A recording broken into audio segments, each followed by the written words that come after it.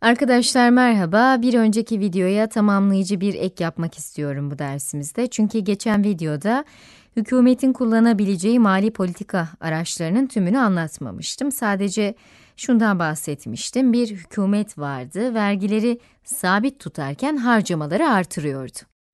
Evet, vergiler sabit, harcama artıyor. Ve bu hükümetin bunu yapabilmesinin tek yolu neydi? Daha fazla borçlanmaktı ya da hükümet tasarruf ediyorsa tasarrufu da azaltabilir. Ancak çoğu hükümet daha çok borçlanma yoluna gider. Yani borçları artırıyor.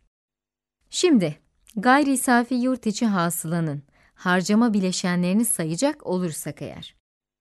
Gayri safi yurt içi hasıla eşittir tüketici harcamaları yani büyük oranda bireylerin, tüketicilerin yaptığı özel harcamalar. Artı yatırım. Yatırımı çoğu zaman firmalar yapar ama mesela ev alan bir birey de sonuçta yatırım yapmıştır. Artı diyoruz devlet harcamaları. Artı net ihracat. Böylece formülümüz tamamlanmış oluyor. Geçen videomuzda bu ikisini sabit tutuyorduk, vergiler değişmiyordu. Yani hükümet harcamalarına kaynak bulmak için vergileri artırmıyordu. O yüzden bu kısım sabitti.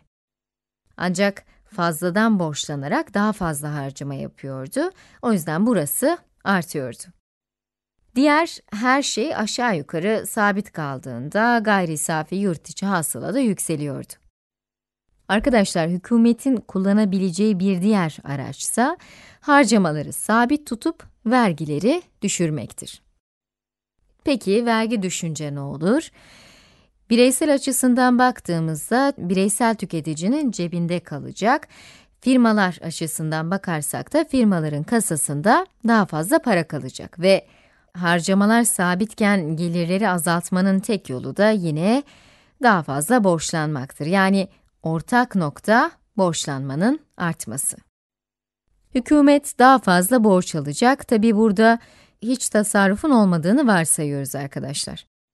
Hükümetin böyle bir durumu finanse etmek için hazırdan yiyecek parası yok farz ediyoruz.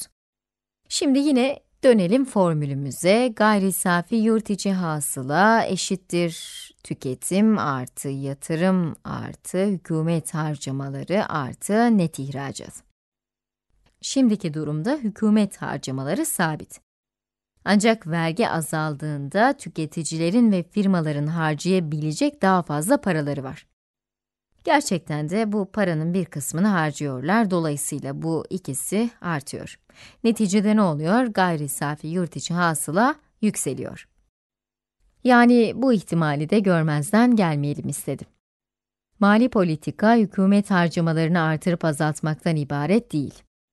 Vergi politikası da söz konusu, vergiler de artırılıp azaltılabiliyor.